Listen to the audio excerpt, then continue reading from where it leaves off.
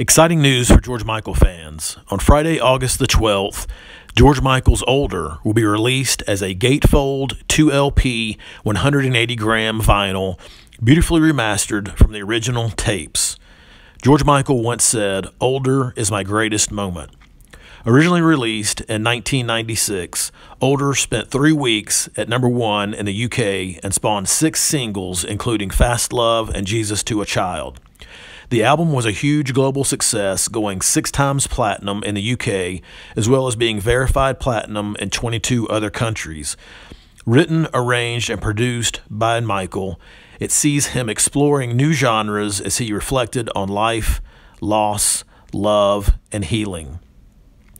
This release is available for pre order at Amazon for only $35.